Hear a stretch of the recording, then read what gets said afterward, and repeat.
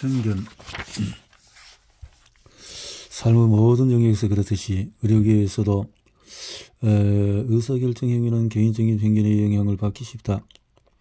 가령 의사들에게 가족이나 심지어 가까운 친구도 직접 치료하지 말라고 요구하는데 미국 의학협회 윤리 강령에 따르면 가까운 관계가 우리의 전문적인 의학 판단에 과도한 영향을 미칠 수 있기 때문이다.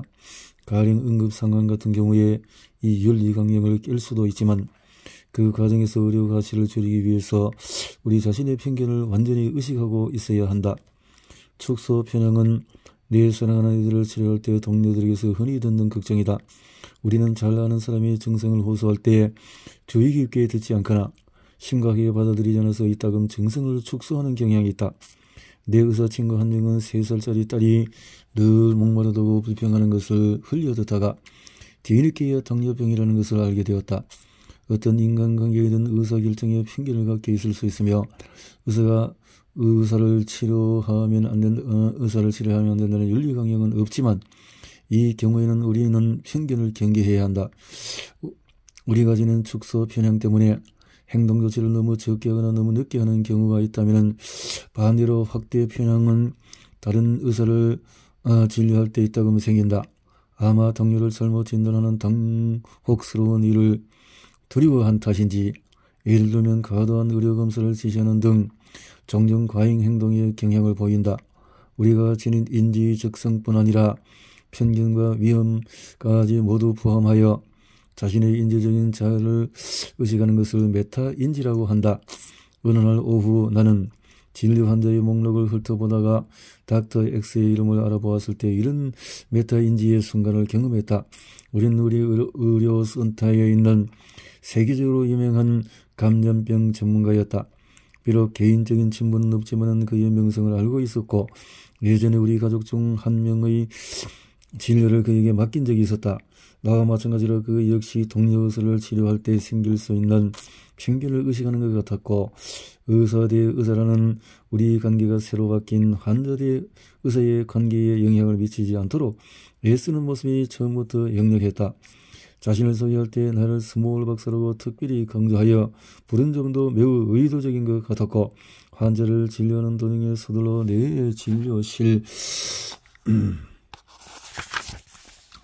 을 찾았음에도 흰 가운을 입지 않았다.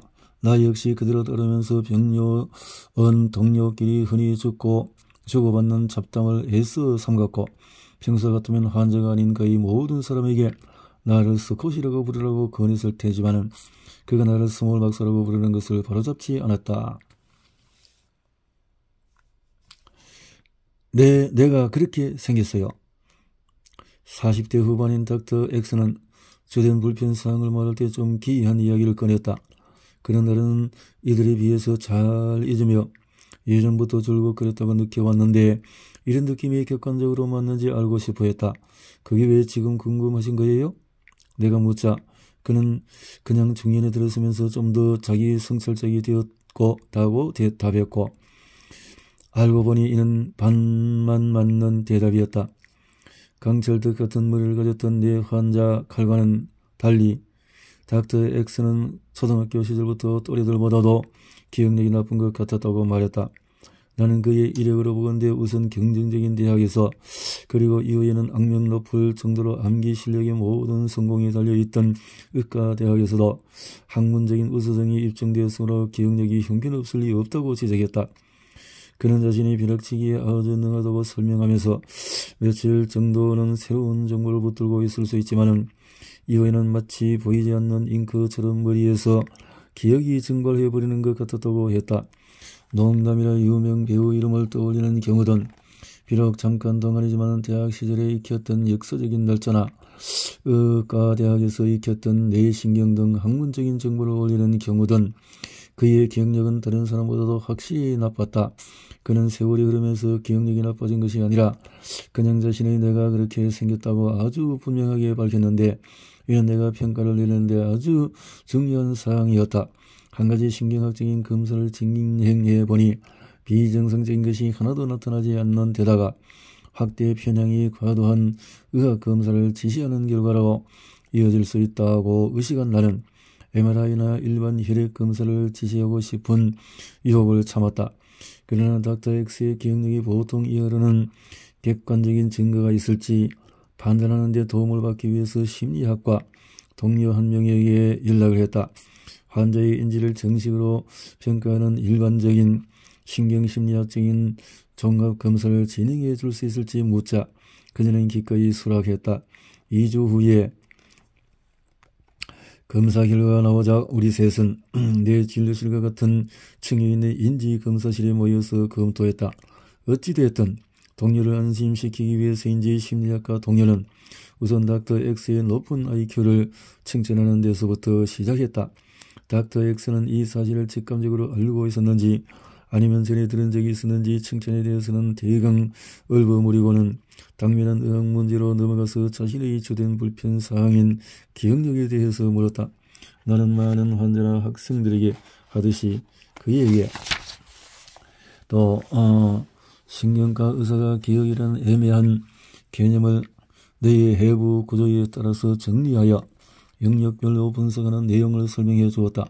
새로운 장기 기억을 형성하는 역할을 하는 해마, 최종적으로 기억이 저장되는 후두 피질 영역, 피질의 저장소에서 기억을 인출하는 데 도움을 주는 전전두 피질에 관한 설명이었다. 그리고 신경심리학적인 검사를 통해 각 기억 체계를 평가하는 방법도 설명하자 심리학과 동료는 이를 신호로 삼아 닥터 X의 여러 가지 점수를 읽어 나갔다. 기억 저장과 기억 인출을 검사한 점수는 정상이었지만 해마 기능은 정상 수치보다 낮았다. 나는 언론 부연 설명을 통해서 설령 평균보다 낮더라도 비정상은 아니라고 덧붙였다. 키에도 차이가 있듯이 그의 기억력도 그저 정상 범위 안에서 조금 낮은 쪽에 속하는 것 뿐이라고 했다. 닥터 엑스는 이 비율을 계속 이어가면서 사람의 최종적인 키가 유전적으로 정해져 있다고 해도 영양실조로 인해서 자신이 타고난 만큼 잘하지 못할 수 있다고 공손하게 지적했다. 이런 사실이 기억력에도 해당될 수 있을까? 이론적으로 그의 말이 옳다고 나는 대답했다. 오래전부터 영양 상태가 인지에 영향을 미친다고 여겨왔다. 예를 들어서 2014년 우리는 특별히 해마 기능과 연관되는 것으로 밝혀진 일군의 영양소, 즉 플라바놀을 확인한 바 있다. 많은 열매와 녹차에서 발견되는 플라바놀은 특히 카카오 열매에 고농도로 들어있다고 밝혀졌다. 이런 이유로 드르코코아 플라바놀이라고 불린다. 닥터 X의 식습관을 빠르게 살펴본 결과 아주 우수한 것으로 드러났다. 플라바놀 섭취량을 측정하는 혈액 검사가 개발되고는 있지만 아직 상용화하는 단계는 아니었다. 나는 보통 이하에 속하는 닥터 X의 기억력이 유전자 때문일 가능성이 크다고 느꼈다. 그가 흥미를 보일 것으로 여겨서 해마 의존 기억과 관련 있는 단백질 및 이를 부호화하는 유전자를 확인한 몇 가지 최신 논문을 그에게 보내주겠다고 약속했지만 이런 유전적인 정보가 치료 차원에서 어떤 의미를 갖는 것은 아니라고 덧붙였다. 나는 그의 직감이 맞는다 같다고 아마도 그렇게 타고난 것 같다고 그에게 말해 주었다. 그는 자기 아버지가 유명할 정도로 기억력이 나빴으므로 타당한 말이라고 수긍했다. 기억력이 나쁘다는 것을 이렇게 객관적으로 확인했다는 데 만족하는 듯이 보였다. 당신이 몇 가지 면에서 보통 이하의 수준임을 알게 되더라도 자기 자신을 안다는 것은 기쁜 일일 수 있다. 내의 중앙집행본부 닥터 X는 이내 자신의 IQ 문제로 돌아가 기억력이 그렇게 나쁜데 어떻게 IQ 점수가 높은지 에, 별뜻 없이 물었다. 이 질문은 심리학과 동료가 맡았다. 그녀는 IQ를 어떻게 측정하는지 이 점수를 결정하는 것이 무엇인지 설명해 주었다. 그녀가 실시한 에, 검사는 일반적으로 많이 이용되는 일종의 종합 검사이며 정체적으로 지능을 구성하는 뇌의 각 기능을 다양한 하위 검사로 측정한다. 이 가운데 해마에 의존하는 기억에 대한 검사는 아, 지리 정보 및 역사 정보에 관한 지식과 의희 수준을 측정하는 검사 한 가지뿐이다. 닥터 X가 이 검사에서 받는 점수는 잘해야 평균 정도였다. 그의 IQ 점수가 특별히 높을 수 있었던 것은 비교적인 해마에 덜 민감한 하위 검사에서 탁월한 점수를 얻은 덕분이었다. 심리학자들은 흔히 이런 여러 가지 하위 검사를 묶어 하나의 인지 능력을 나타내며 이를 가리켜서 집행 기능이라고 일컫는다. 아마 매우 중요한 능력인 것처럼 들릴 것이다. 그렇다. 정말로 아주 중요하다. 그러나 집행 기능은 가령 기억이나 언어 등에 비해서 더 모호하며 설명하기도 힘들다. 닥터 X의 학구적인 정신이 자극을 받았고 분명 그는 더 듣고 싶어 했다. 심리학과 동료와 내가 그를 도와주었다. 내의 집행부에 우선적으로 맡겨진 과제는 마치 정부와 기업의 고위층이 하는 역할과 같다. 입력 정보의 흐름을 통해서 추론하고 이들 정보가 제시하는 문제를 해결하는 것이다. 내부적으로 신중하게 생각한 끝에 내의 집행부에서 문제를 바로잡기 위한 행동이 필요하다고 판단하며 그 다음 두 번째 기능은 가장 합리적인 행동 계획을 세우고 실행하는 것이다. 두 번째 기능을 평가하는 신경심리학적인 겸, 검사는 가령 높은 성과를 요구하는 특정 업무에 지원할 때 이용되기는 하지만 우리가 주로 이용하는 검사는 첫 번째 기능, 즉 추리 및 분석적인 문제 해결에 초점이 맞춰져 있다. 닥터 X가 검사에서 우수한 점수를 받은 것이 바로 이 분야였으며 높은 X 점수의 주된 결정 요인이었다. 닥터 X는 이를 바로 이해했다. 그리고는 이 분야가 기본적으로 수학이며 자신은 이 분야에서 늘 탁월한 기량을 발휘했다고 요약해서 이야기했다. 그런데 수학이 뭐지요? 심리학과 동료에 내가 거의 동시에 방문했으며 약간은 격한 느낌도 섞여 있었다.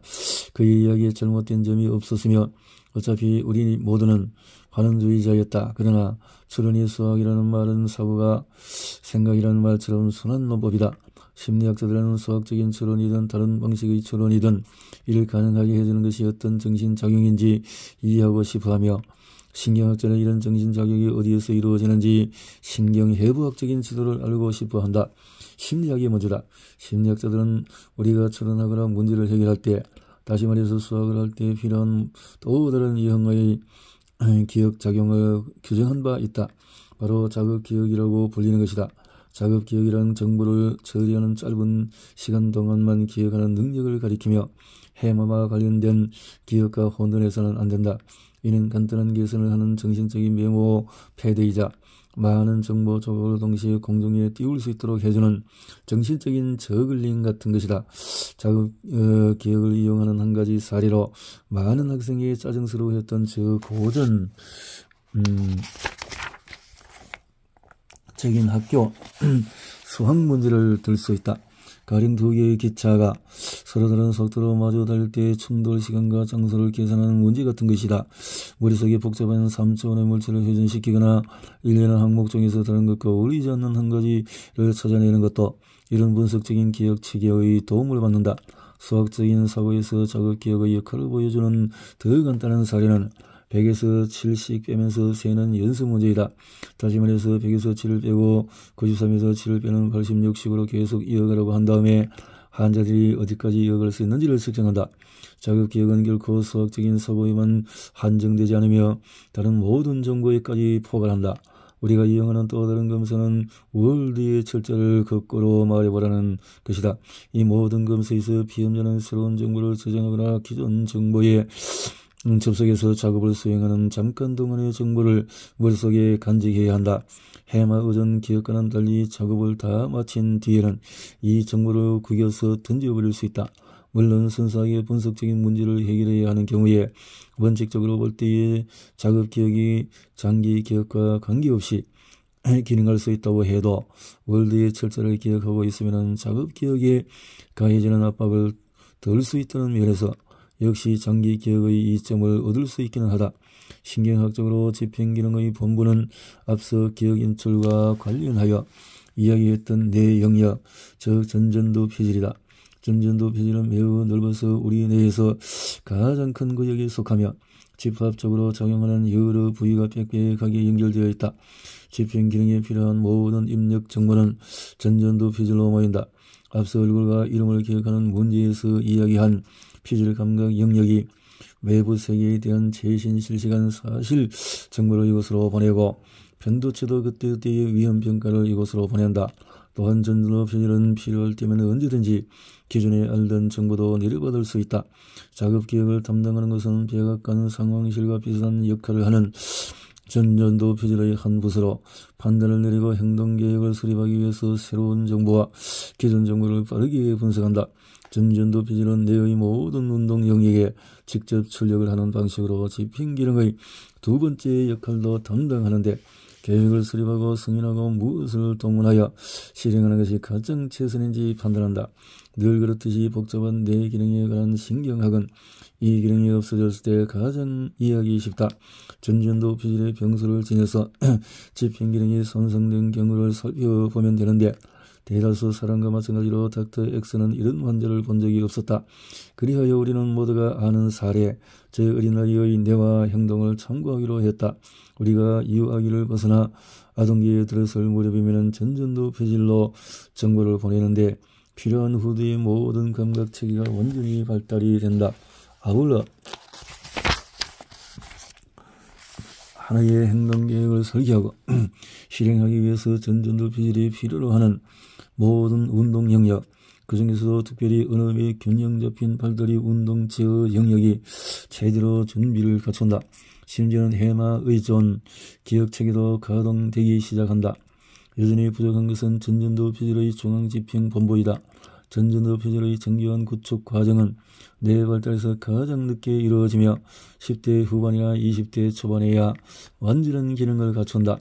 성인뿐 아니라 아이들도 기억하고 지각하고 감각 정보를 처리할 수는 있지만 전전도 피질이 완전하게 성숙하지 않아 성인처럼 추론하거나 판단할 수 없으며 충동을 제어하는데도 어려움이 있다. 신경성문학자가 잘 아는 이 점을 입법가들도 잘 알고 있어서 어린이에게는 투표권을 주지 않으며 자동차 보험에서도 잘 알고 있어서 10대에게는 할증 보험료를 매긴다. 닥터 X는 모든 것이 흥미로워했다. 자신의 인지적인 자아에 대해서 늘 미심쩍어했던 점을 확인해주고 신경학 강의를 하는 것에 진심으로 고마워했다.